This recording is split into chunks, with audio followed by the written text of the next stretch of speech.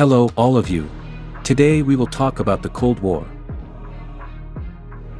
In 1945, World War II ended with the defeat of the fascists, Europe was devastated.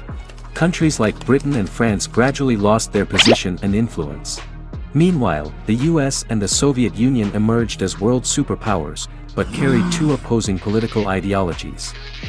It was this conflict that started in a historical period, known as Cold War.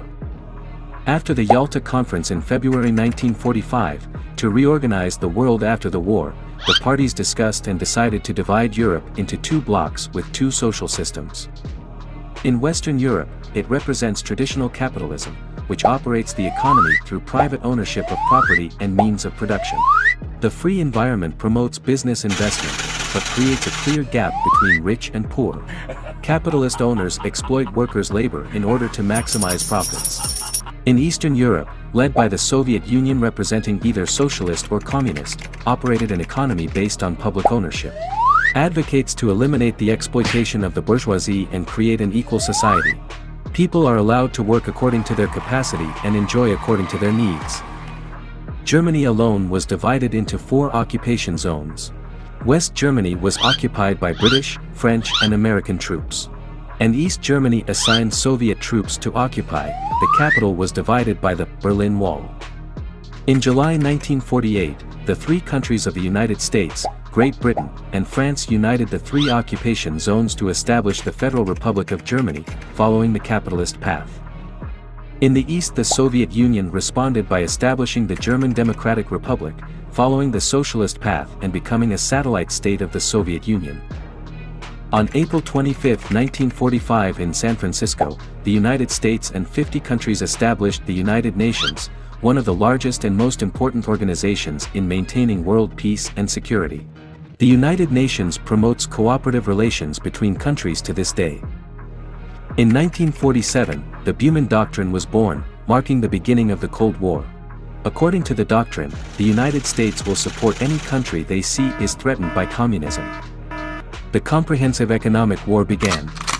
The United States implemented the Marshall Plan to provide $17 billion in aid, rebuild Western Europe, and prevent the spread of communism. In addition, anti-communist propaganda also appeared in every media. In response to the US, the Soviet Union also propagated anti-capitalist propaganda and established the Council for Mutual Economic Assistance SEV to create an economic alliance between the socialist countries in Eastern Europe. In addition, the two superpowers also compete in many fields of science, technology, space and military. On August 29, 1949, the Soviet Union successfully tested the atomic bomb that broke the monopoly of US nuclear technology. That same year, NATO was established based on the North Atlantic Treaty, signed between the United States and Western European countries to combat the increasing threat of the Soviet Union. To deal with NATO, the Soviet Union also established the Warsaw Military Alliance in 1955. During the Cold War, the United States and the Soviet Union had never once declared war directly. Instead, they provide weapons and money to their allies to fight with the other side's allies, with their own strategic benefits. Greece can be considered the site of the first proxy war. The Greek Communist Party supported by the Soviet Union and Yugoslavia began a civil war against the Greek national government supported by Britain and the United States. The war lasted for three years, when Yugoslavia came into conflict with the Soviet Union and stopped aid to the communists. As a result, the Greek National Army was victorious.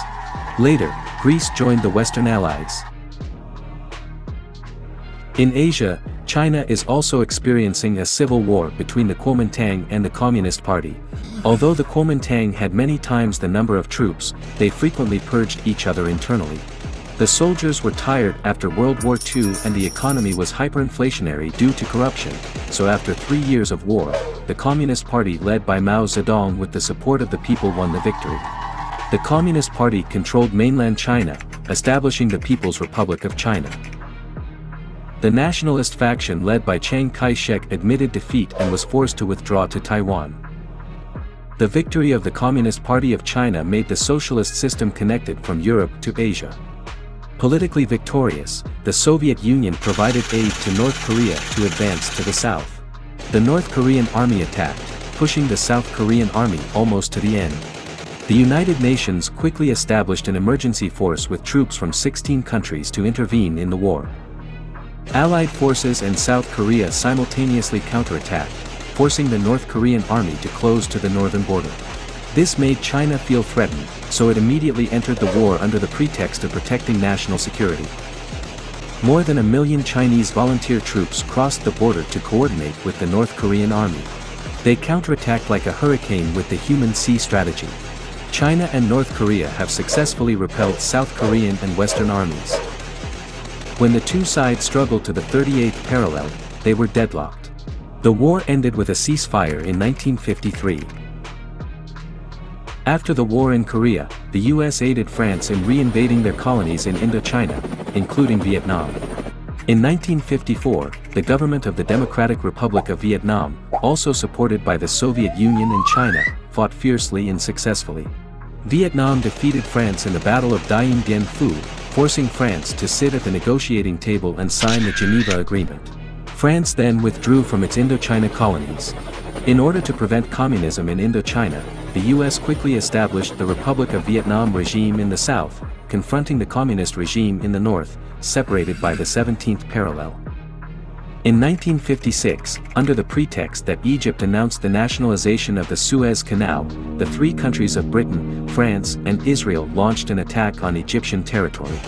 They were quite successful in occupying the Suez Canal. But the Soviet Union threatened to use nuclear weapons to support Egypt, causing the US to fear a new world war. The US threatened and embargoed Israel and cut off oil supplies to Britain if the coalition refused to withdraw from Egypt. Relations between Britain, France and the United States were seriously damaged after this event. On October 4, 1957, the whole world was shocked and the Soviet Union successfully launched the first artificial satellite into Earth orbit. To regain the upper hand in science and technology, the United States introduced educational reforms, including the creation of NASA and later the successful landing of the first man on the moon. The start of a technology and space race. In Latin America, the United States established a backyard system for itself and ensured that there was no place for communism. However, in 1959, the Cuban Revolution succeeded and a communist government was established. CIA The U.S. Central Intelligence Agency recruited Cuban exiles with anti-communist ideology to launch an invasion of the Bay of Pigs to overthrow the Cuban government. The CIA also deployed nearly 638 assassination attempts on Cuban leader Fidel Castro, but all were unsuccessful. The Bay of Pigs invasion campaign also failed miserably, when the Soviet Union learned of the news, it immediately sent troops and warships to Cuba to deploy medium-range missiles aimed directly at the US. Tensions peaked when the two naval forces were ready to declare war on each other. People hold their breath waiting for a third world war. But through negotiations, the Soviet Union agreed to withdraw all missiles from Cuba. In return, the United States must promise not to invade Cuba again. And must help get rid of all the missiles from Italy and Turkey. Returning to Vietnam, the South Vietnamese government did not recognize the Geneva Treaty and refused to hold a general election to unify the two regions. At the same time, implementing anti-communist policies led the North to form the National Front for the Liberation of the South, launching an all-out offensive with guerrilla campaigns with support from the Soviet Union and China. Both sides fought fiercely for many years and became more and more fierce. America spent hundreds of billions of dollars on this war and it became one of the most expensive wars in history. Right in the US, the people's wave of protest against the war increased and public opinion became increasingly bitter when realizing that the war took place in an unexpected direction. The US decided to withdraw in 1973. Two years later, the Communists won and Vietnam was reunified. After the Vietnam War, the Soviet Union seized the opportunity to gain Pan-African political influence by sponsoring communist organizations and movements there. On the other hand, the Soviet Union entered Afghanistan to support the communist government against the Mujahideen rebels, an Islamic organization funded by the West. The Chinese government viewed the Soviet intervention as an act of aggression, which seriously threatened the western border. Thus, China joined an alliance with the United States to jointly finance the strategy of resistance against the Soviet Union in Afghanistan. In Europe, France has left NATO because of conflicts with the US. The Soviet Union upgraded its missile system and aimed directly at Western Europe, prompting the United States to install more missiles in response and creating a missile race in Europe. The Cold War now costs both superpowers a lot of resources, but neither side withdraws. Now in Central America, a former spy recruited by the CIA to fight communism in Panama, is now an anti-American dictator. He turned Panama into a hub for money laundering and transporting drugs to the US and Europe. Under the pretext of protecting democracy and human rights, the United States launched a massive invasion of Panama with 27,000 troops, sending the whole city into war. As a result, Manuel was overthrown and sent to the US to be sentenced to 30 years in prison. The important thing is that the US has regained control of the Panama Canal. The invasion was harshly condemned in the international arena. But it didn't work because now the Soviet Union was weakening due to spending too much on the military budget, the Soviet Union began to run out of money. So the Soviet Union decided to stop funding communist movements in Africa and withdraw all troops from Afghanistan.